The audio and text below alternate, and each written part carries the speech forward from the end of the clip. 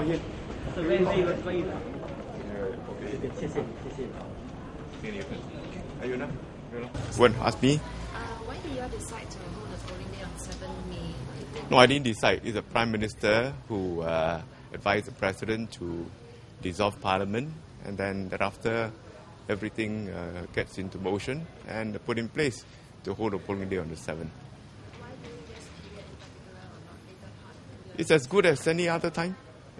As good as any other time. Well, I have been preparing for this poll since the last general election because we don't believe in just having no contest and not working. So for many years, there have been no opposition coming to Bishan, Toa Payoh to contest. But we did not take our voters and the residents for granted. We continue to work hard for them and uh, put in the plans that we have and implement them. And as a result, we can see that there have been a tremendous improvement in the environment as well as uh, in the living uh, places where they live, for example, uh, in the homes through a live upgrading program, or uh, in the main upgrading program, or in the home improvement program, and also in the estate renewal program.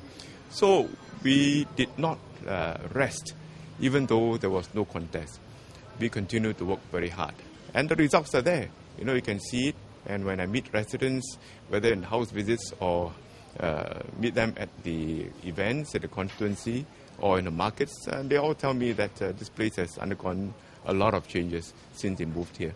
Well, I welcome them to come here and contest. As I said, we have not had a contest. It's good that we have a contest. Then the voters will decide uh, who has a better team. And, uh, well, we have been working hard all these years.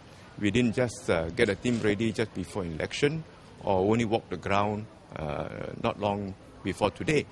So uh, whether uh, they come or not, of course, I hope that they will turn up and contest on the day, and we will put up a good fight. But we will focus on our plans, focus on the actions we're going to take, and focus on what we'll do for our residents. Ultimately, uh, whether we have done a good job or not, whether our residents want us to continue to serve them or not, uh, the answer is in their hands. And I hope that after all these years in serving them, including my colleagues who have served here for five years or ten years, like Dr. Ng and uh, Mr.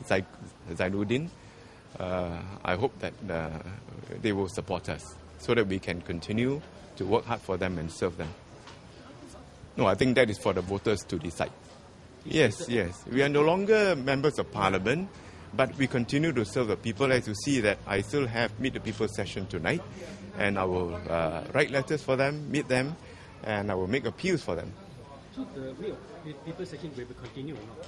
Or all other Sorry? Meet, meet I think session. I think uh, my colleagues will do what is necessary to make sure that they attend to the uh, residents' uh, concerns.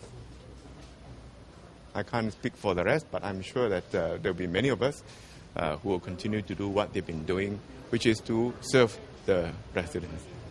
Well, of course, the question of cost of living uh, has come up. Uh, the question of housing has come up.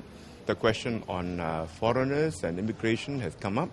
Uh, these are not new issues. We are familiar with these issues. We understand the concerns of our voters, and that's why in the Grow and Share package, we try to do something to help them tie over the cost of living issues. And in the housing issue, of course, you know that MND has stepped up the uh, building of HDB flats, and there are about 22,000 uh, flats available for selection this year and last year. I believe we must have built something like 15, 16,000 of them. So there is enough supply. And as far as the housing prices are concerned, uh, in the new areas where we built uh, our HDB flats, the prices are affordable. I would say highly affordable because uh, for most of the people who buy these flats in these new places, they use their CPF to pay. Uh, some will, of course, will need to uh, top up with their own cash, but on the whole, they can cope. And uh, if there are others who can't, for example, the lower income ones, we have a special housing scheme just announced for them. They should be able to afford a two room flat even if they earn about $1,000 with a grant of uh, close to $60,000 for them.